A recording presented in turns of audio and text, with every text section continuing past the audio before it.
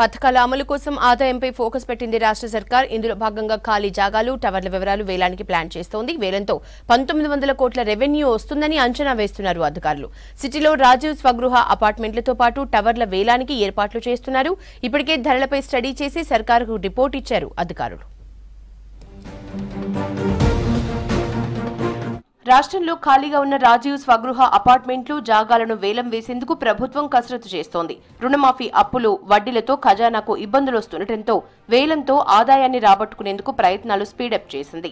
ఇందులో భాగంగా హౌసింగ్ అధికారులు అన్ని జిల్లాల్లో ఉన్న ఖాళీ జాగాలు అపార్ట్మెంట్లు టవర్ల వివరాలపై రిపోర్ట్ రెడీ చేసి ప్రభుత్వానికి అందజేశారు. వీటితో పంతొమ్మిది వందల కోట్ల ఆదాయం వస్తుందని అంచనా. కోర్టు వివాదాల్లో ఉన్న జాగాలను కూడా వేలం వేస్తే మరో పదిహేను వందల కోట్లు వస్తాయని అధికారులు చెబుతున్నారు స్పెషల్ లాయర్లను నియమించి అడ్వకేట్ జనరల్తో మాట్లాడి త్వరగా భూ వివాదాలు పరిష్కరించేలా చర్యలు తీసుకోవాలని మంత్రి పొంగులెట్టి అధికారుల్ని ఆదేశించారు. ఈ నిధులు ఇందిరమ్మ ఇండ్ల స్కీమ్ అమలుకు ఉపయోగపడతాయని ప్రభుత్వం భావిస్తోంది. రాష్ట్ర వ్యాప్తంగా ఖాళీ జాగాలు అపార్ట్మెంట్లు అమ్మే టైంలో ఖరారు చేయాల్సిన ధరలపై ఇప్పటికే ప్రభుత్వం మూడు కమిటీలు ఏర్పాటు చేసింది. వీటికి జిల్లాల్లో కలెక్టర్లు జీహెచ్ఎంసీలో కమిషనర్ హెచ్ఎండిఈలో కమిషనర్ నేతృత్వం వహిస్తున్నారు. గత బీఆర్ఎస్ ప్రభుత్వంలో వేలం నిర్వహణలో ఎంత రేటు ఖరారు చేశారు?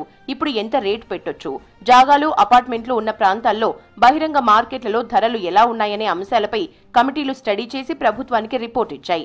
గత ప్రభుత్వంలో కంటే ఈసారి ధరల్ని స్వల్పంగా పెంచే అవకాశం ఉందని అధికారులు చెప్తున్నారు. సీఎం రేవంత్ రెడ్డికి హౌసింగ్ శాఖ మంత్రి పొంగులెట్టి ఈ రిపోర్ట్ ఇచ్చి వేలంపై నిర్ణయం తీసుకోనున్నారని అధికార వర్గాలు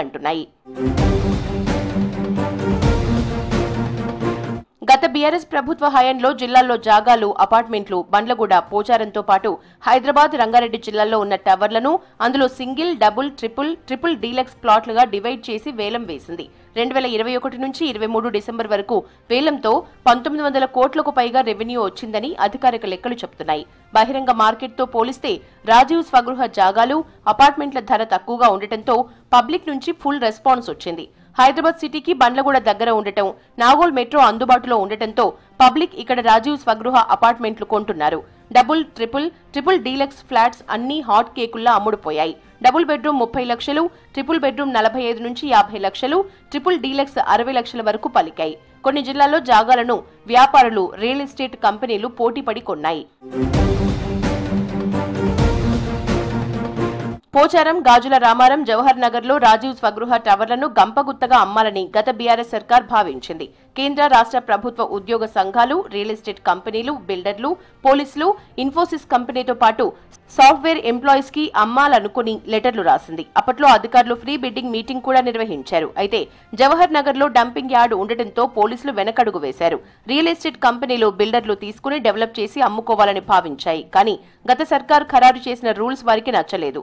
సవరించాలని రెండు వేల ఇరవై మూడు జనవరిలో రాజీవ్ స్వగృహ ఆఫీసర్లు నిర్వహించిన మీటింగ్లో పలు కంపెనీలు బిల్డర్లు కోరినా ప్రభుత్వం పట్టించుకోలేదు.